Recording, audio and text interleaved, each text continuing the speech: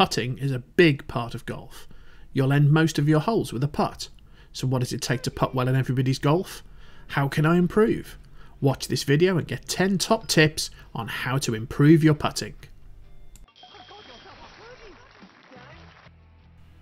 I'm Simon, I play a Smurf in Everybody's Golf and I put far too many hours into this game. I want to share my top tips on better putting in Everybody's Golf with you. So let's get right to it with our number 10 tip.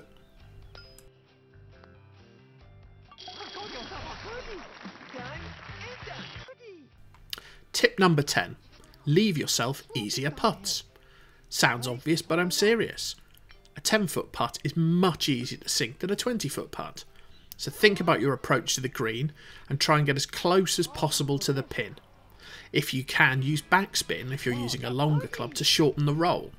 Or if you need to hold the putt up and you have to land it close because the pin's cut close to the front edge, use super backspin. But however you do it, try and get as close as you can. It's easier to sink those shorter putts than it is the longer ones. Tip 9. Leave yourself flatter putts. A flat putt is simpler to make than an uphill or a downhill putt. Concentrate on your approach, study the green. Where do I want to end up? Ideally, you want to be on the same level as the hole if you can.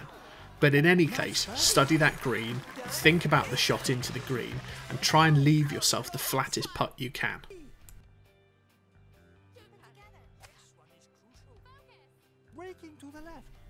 Tip number 8. Leave yourself uphill putts. All things being equal, putting uphill is simpler than putting downhill. Uphill putts tend to hold their line better than a downhill putt, and it's easier to leave the putt closer to the hole than it is with a downhill putt. So again, study the green, look at the contours, try and leave yourself the uphill putt as opposed to the downhill putt. Looks like it slopes up. Tip number seven. Pick a power level and stick to it.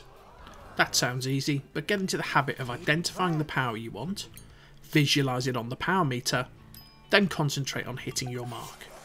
Remember, you have the chance using triangle and circle to tweak the power, so do that if you think you're one or two pixels out.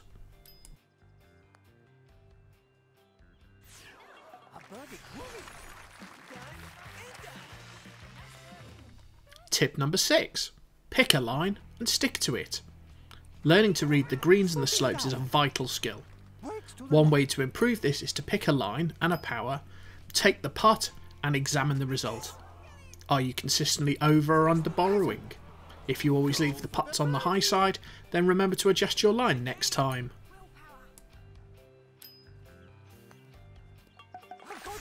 Tip number 5. Firmer putts hold their line better. Line and power interact on a sloping green. For a given line, a firmer putt will end up higher than a softer putt. If you are putting across a slope, you can use this to your advantage but be careful you don't overhit the putt trying to hold the line.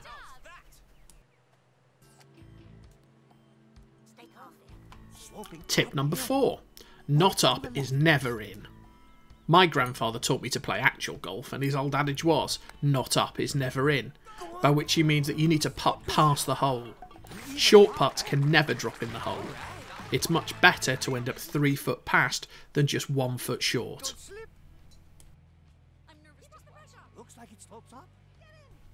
Tip number three practice using teeny cups to really hone your skills. Most of us probably avoid teeny cups when given a choice, but not me. I love the challenge, and you should too. It's a great way to really get better at putting. It makes you concentrate on your line because there's no margin for error. Give it a try and watch your scores improve. Tip number two practice leaving yourself 15 foot putts. Most of the putts you will take will be inside 15 foot, so if you're practicing and you have enough skill, see if you can leave yourself about 15 foot so you can improve in that vital putting range. Upping your percentage of 15 foot putts will really improve your scores.